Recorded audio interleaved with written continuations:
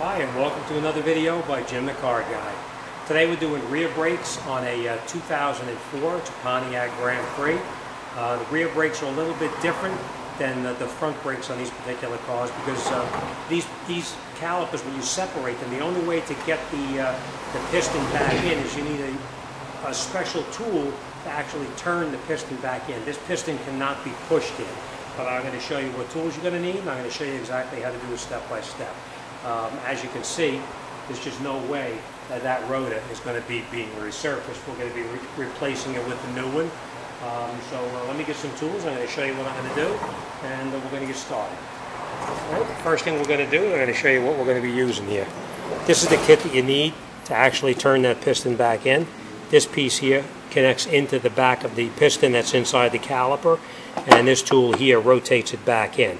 Now, if you don't have this tool, there is another way to do it, but let me get this off and I'm going to show you how to do it um, step by step right now. So, uh, all right, this is uh, an example of some of the stuff you're going to need. The uh, new brake pads, of course, uh, new hardware kit to mount the brake pads into the knuckle, a couple of ratchets, a few sockets, um, and that's about it. So, uh, all right, first thing we're going to do is we're going to come up underneath here, and we're going to go in the back of the, uh, the, the caliper right over here. And we're going to take out this bolt right here. We're going to remove that bolt. And we're going to remove this bolt right here. And we're going to take this caliper and we're going to relocate that off to the side for now, just out of our way so that we can uh, get into the back right here. We can get right into the back over here and remove the, uh, the bolt right here. There's one here, this one here, and then when you go down underneath the bottom, there's one more right up underneath here. We're going to take that out also. So first thing we're going to do is let's take this caliper and move that off to the side, and I'll show you how to do that. Okay, first thing we're going to do is take out those two bolts in the back that I told you about first.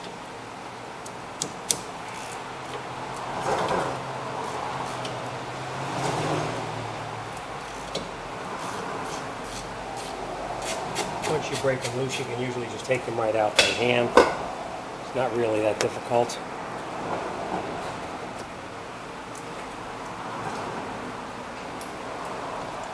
Don't lose them because we're going to need them to put that caliper back on. Now we're, it's a little bit tricky is trying to get the, uh, the um, caliper out. The reason for that is because the cable right here for the parking See that parking brake cable right there? That may bind up a little bit. If it does, you can just maneuver it out of there. Now, you see these little slots right here? Those are the slots that that tool has to fit into. Now, if you don't have that, okay. Now, if you don't have the tool for that, I've seen, I've done it already myself too, is you could take a pair of pliers like this, needle nose pliers, you put them in here, like this and you can rotate the piston and push it in at the same time. You'll have to turn it clockwise, of course, to get it to turn back in. It is a pain in the rear end. You can do it if you had to. You're going to need two hands to do it. Um, I'm not going to. I'm going to use this tool right here. We're going to take this and we're going to put this in here like that. Just like this and then we're going to put our tool in there and we're going to turn it. So uh, let me get that tool and I'm going to show you. Now, before I do anything, as these cars get older, these boots right here tend to stick to the caliper. You don't want to you don't want to twist this boot and rip it. So what I normally do is get in here with the scribe and just go underneath that seal. It's just a dust seal, so you don't have to worry about a leaking fluid. Just move that dust seal just a little bit around like this so that it does rotate that way, when this piston turns here and it turns in, you're not going to damage that seal. So, uh, all right, let me grab my tool and let's get started. Okay. Now, remember what I told you about these tools here? You can get in here with a pair of needle nose pliers and you can rotate it and try to turn it back in and push it at the same time. And it will go in. It's a pain in the rear end, but it does go in. See? The key with this one is that when I made that made sure that that rubber seal, the dust seal on the outside, was nice and free. All right, and then you turn it, and you're going to line it up so that these are back in the same position they were before you started to rotate it. And as you can see, that piston pushed back in. Now, if we had the tool, I'll show you. The tool would do basically the same thing. The tool goes in here, like that. It fits in here, like this. And then you turn this, like that. And then you can turn it in by hand. That keeps constant pressure to keep it from sliding out. All right? Um, but, you know, in a pinch, you can use these. But this is the correct way to do it here. And now when you have this tool in there, you basically just put a wrench on here and you just turn this and it'll rotate and turn that piston all the way back in. All right? But we were able to do it with the, uh, with the uh, as a street mechanic would do it. All right, so now for, for now we're just going to relocate this off to the side right here. And then what we're going to do is we're going to come underneath the bottom over here and we're going to remove this screw here. And then we're going to remove this screw here and we're going to take this mounting bracket here off of the car. So uh, let me do that and we're going to continue with that.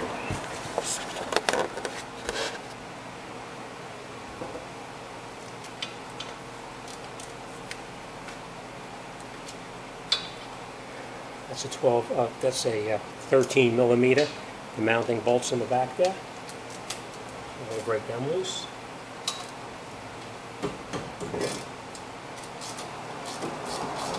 Now don't take them both out, you're just going to break it loose for now, because if you break, if you take this bottom bolt out and you try to loosen this one, the whole bracket's going to slide up and out of the way.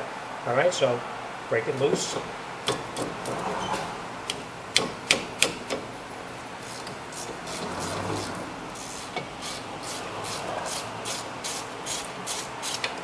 And once you break it loose, then you can just take the two of them right out. Don't lose them because we're going to need to, uh, use them over again.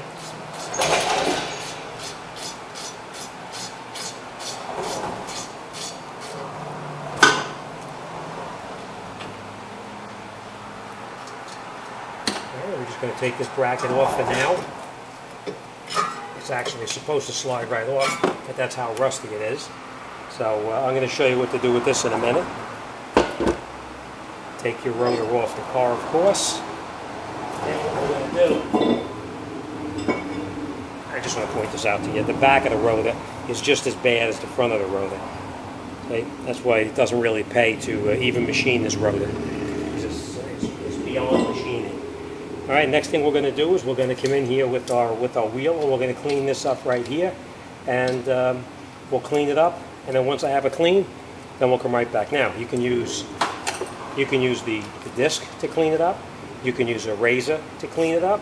You can use a piece of sandpaper to clean it up. You can use a scraper to clean it up. Whatever you have at your disposal, use that. Just make sure that all that rust comes off there. Otherwise, you're going to have a pulsating pedal and you're going to be kicking yourself. All right, let me clean it up and we'll come right back then. Okay, once you've got it all cleaned up, put your rotor on.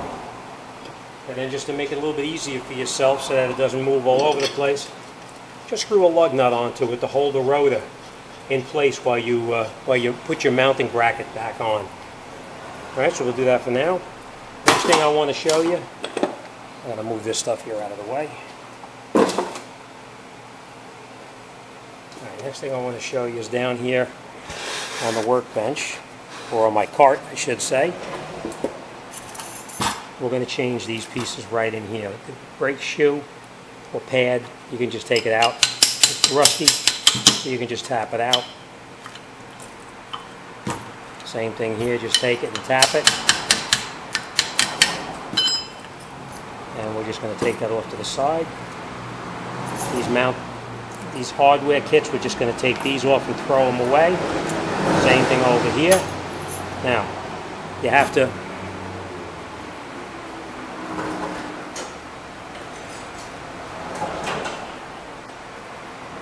Okay, you've got to make sure that the uh, that the bracket here, where these clips go into, that there's no significant amount of rust on there. If there is, you grab a file and you file it to get it out of there.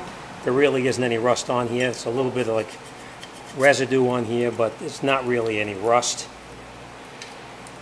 Just clean it up just a little bit here, just to get any kind of stuff off like that. Really nothing to worry about. Then you're going to take your new clips. There's only one way they can go back on there. You can't really make a mistake. You put it over the top. I'll try to do this so you can see. Over the top like this. And you squeeze it. And it goes right back down. All the way down in here where it's supposed to be. See? Now we're going to do the same exact thing up on this one here. Put it on top. Squeeze it. Push it down.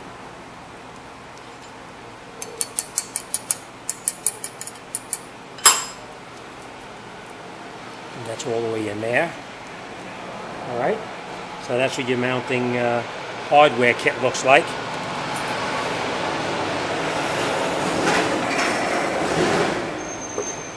Next thing we're going to do is you always see me using these synthetic grease on these, on these uh, anywhere that the brake pad touches, you put the grease on. You're also going to lubricate these slide pins here. You have to make sure that these pins slide nice and freely. If they don't slide freely and they stay binding, it's going to prematurely burn up your brakes. All right?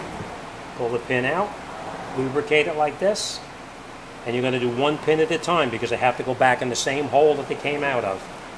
And push it in. Same thing on this side here. See how this one is different? It doesn't have the O-ring on it. So just lubricate it like this. And then we're just going to push it all the way back in. And I want to point this out to you. When you push it in, make sure it snaps all the way back in to where it's supposed to be here. See it pops up? Watch this one here, you'll see. Pops up over the top like that. So now, now no, no moisture can get inside here. Next thing we're going to do is we're going to lubricate every place that the brake pad touches. We're going to put grease like this. Same thing here. And just so you know, there is no such thing as too much grease on these uh, on the sliders here. All right, next thing we're going to do now, I want to point this out to you. You see that this brake pad has your indicator on there? You want to make sure you get the one with the indicator that's in the same position. You see this one? This is actually a mirror image of it. You see how that indicator here is on the bottom? So this one we don't need. This is the one that we're going to put on. We also know that is the inner brake pad because that's where the piston was touching right there. And you remember what I told you about the, that caliper? See these little pins right here? I'll show you another one. You see this little pin here? That's why I said that you should have that caliper facing straight from back to front because this pin has to fit into that caliper. I'm going to bring you up there. I'm going to show you in a minute again. All right, so this one now goes inside here like this. Push it in here like this. It's a little tight because it keeps it from rattling around. But if you lubricated everything, it should slide nice and freely. And you can do this later on, but I find it easier doing the inner pad here than later on when it's in there. All right, put it in like this, right? And if you want, you can do the outer one. I'm going to because it's a little easier here than later on in there. Put it on like this, slide it into its position like that, and that's where it pretty much belongs right now. All right, now, let me show you up here again.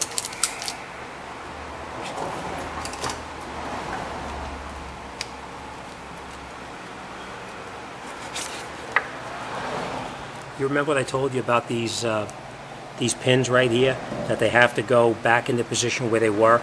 The reason that that's like that is because that little pin on the back of the shoe or pad is going to fit right in there like that. I don't know if you can see that, but you see how that little piece fits right in there?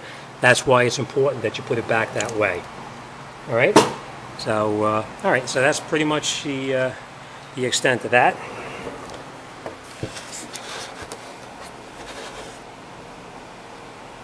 Then we're going to take our, our caliper, mounting bracket, put it over the top like this, squeeze the pads to hold it in place, and then you can reinstall your bolts that you previously took out. You're going to screw them both in by hand. You're not going to tighten them up.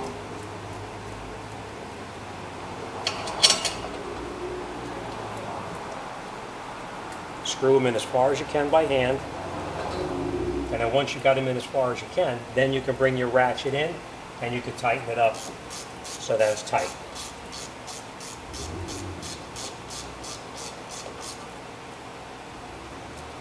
Same thing on the bottom one here.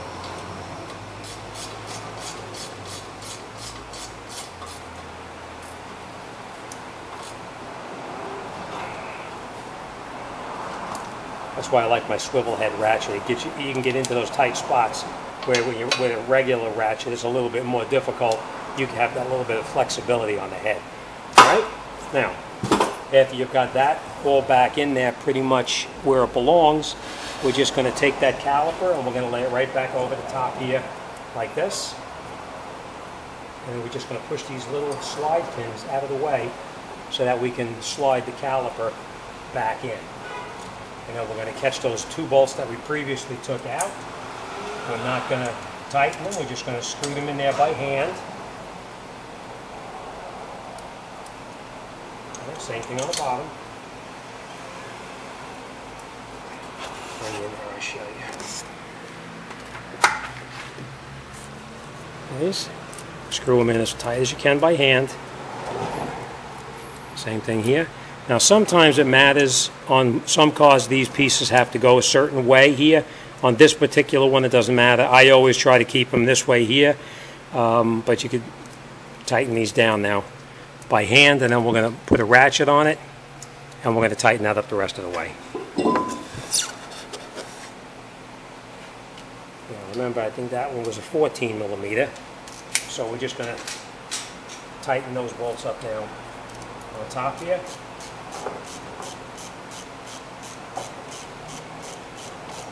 As you can see, I'm actually show you.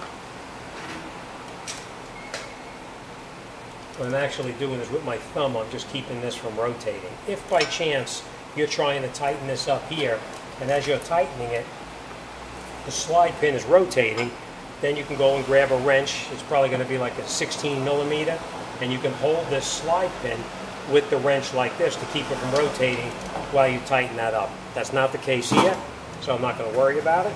And then we're going to tighten up this one here. Same way, I just hold it with my thumb until it snugs it up. And I'm just going to tighten it and make sure it's tight. And that's it. All right, so now I'm just going to recap exactly what I did again. Rotor's on. We cleaned up the hub right here. We put the mounting bracket back on where it previously was removed from. Um, we tightened up this bolt here as well as this bolt down underneath here. We tightened up this bolt here and this one that holds the caliper to the mounting bracket. We replaced our hardware inside here. We lubricate everywhere that the brake pad touches so it's nice and, and lubricated. Um, now remember you could use this to rotate the piston back in or you can use the tool that's actually made for it like this. All right, so you know what? When I do the other side, I'm going to show you on the other side how this tool works versus using this. Because truthfully, this worked too easy. It never works that easy. It's always a pain in the rear end to try to turn that in. So I'm going to show you on the other side how to do this here. All right, so let me get over to the other side and I'll, uh, I'll show you how this tool works.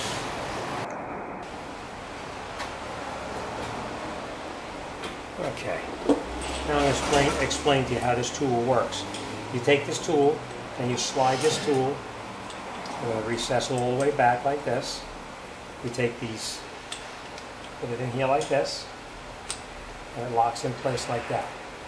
And then you turn this outer piece here so it brings it in like this. Okay? Then you grab your, your wrench. You hold your tool here with either your hand or a wrench, and you rotate this. And it turns that piston back in.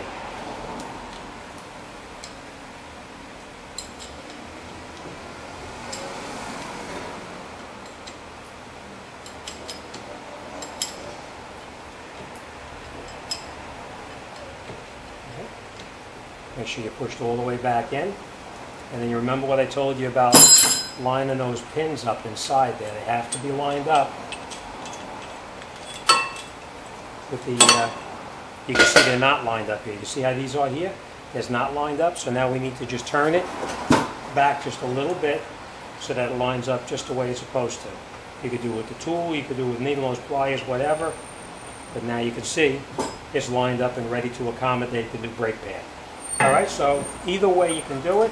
If you want to use this tool, you can use it. If you don't have this tool, you can use a pair of needle nose pliers. Watch you don't stab yourself in the hand if it slips off. And that's it. You're pretty much all set. All right, thanks for watching. Any questions or comments, or you need any information, just drop me a line. Be more than happy to talk to you about anything. All right, thanks for watching. And like always, see you on the next one.